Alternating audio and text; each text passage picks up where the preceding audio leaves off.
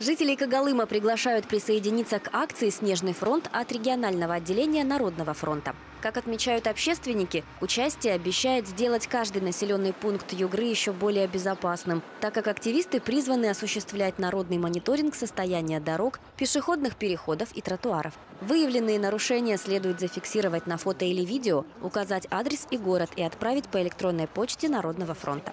Собранная информация будет передана органам власти муниципалитетов для принятия соответствующих мер по устранению нарушений.